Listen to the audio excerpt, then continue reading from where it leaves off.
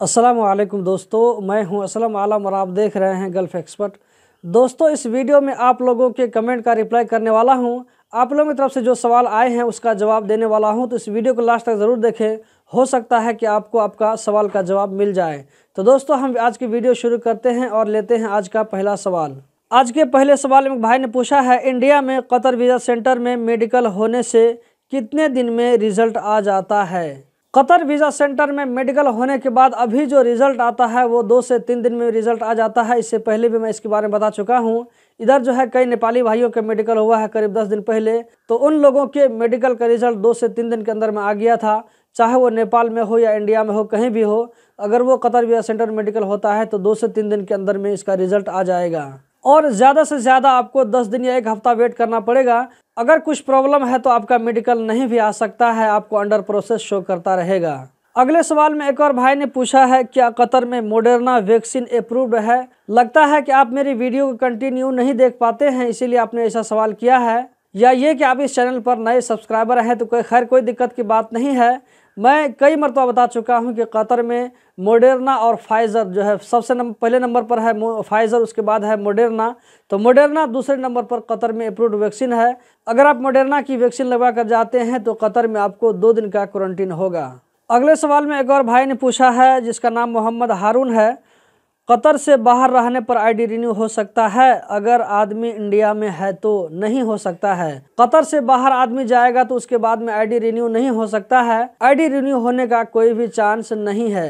Qatar के अंदर ही आपको रह करके आईडी रिन्यू करवाना होगा। अगले सवाल में एक और भाई ने पूछा है, भाई, मैं घर में हाउस ड्राइवर का काम करता हूँ। क्या मेरा इकामा कंपनी में चेंज हो सकता है? जी, बिल्कुल चेंज हो सकता है। लेकिन इसके लिए आपको कफिल की तरफ़ से एनओसी चाहिए। एनओसी नहीं है तो चेंज नहीं होगा। अगले सवाल में एक और भाई ने पूछा है, सोनिया राय इसका नाम है प्लीज़ रिप्लाई करें। मैं कतर जा सकता हूँ ड्राइवर के लिए, मेरा एज छियालीस साल है।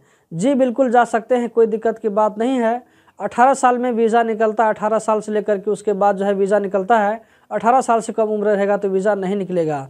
और आपने जो छियालीस साल बताया है तो ये नॉर्मल एज है। कोई दिक्कत की बात नहीं है आपका वीज़ा आस, आसानी से निकल जाएगा। अगर आपका एज सिक्सटी क्रॉस कर जाएगा तो उस वक्त आपको टेंशन लेना पड़ेगा कि मेरा वीज़ा निकलेगा या नहीं निकलेगा क्योंकि सिक्सटी ईयर क्रॉस करने के बाद में कंपनी वाले बंदे का वीज़ा नहीं निकलना चाहते रहते हैं क्योंकि साठ साल क्रॉस करने के बाद में आदमी जो है वो जवान नहीं रहता है हिसाब से देखिए तो बूढ़ा हो जाता है। तो इसलिए जो है कंपनी वाले बूढ़े आदमी को लेना लेने के लिए तैयार नहीं होते रहते हैं। अगले सवाल में एक और भाई ने पूछा है, सर, मैंने वेरुसील का दोनों डोज लगा लिया है, क्या मैं कतर जा सकता हूँ? आपका सवाल अगर इस तरह हो तो ज़्यादा मुनासिब रहेगा कि क्या कतर में वेरुसेल का वैक्सीन वैलिड है या नहीं है।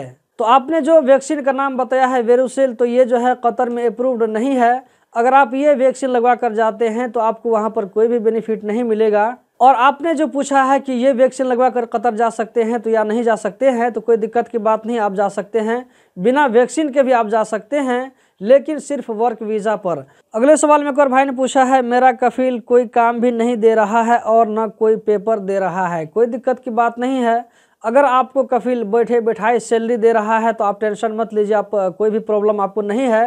अगर बैठे बैठा आपको सैलरी मिल रही है। अगर आपको सैलरी नहीं मिल रही है और कफिल ये बहाना बना रहा है कि तुमको काम में नहीं लगाए, इसलिए सैलरी नहीं मिल रही है तो आप इस सूरत में लेबर मिनिस्ट्री में जाकर कंप्लेन कर सकते हैं कि मेरा कफिल मुझको सैलरी नहीं देता और मुझको काम भी नहीं देता है। अगर आपका कफिल काम नहीं दे करके बैठे बैठाए सैलरी दे रहा है तो कोई दिक्कत की बात नहीं है। अगले सवाल में एक और भाई ने पूछा है, सर, मेरा वीज़ा रेडी टू प्रिंट है। मिल नहीं रहा है इस मेडिकल पे, क्या दूसरा वीज़ा के लिए अप्लाई कर सकते हैं? जी नहीं कर सकते हैं।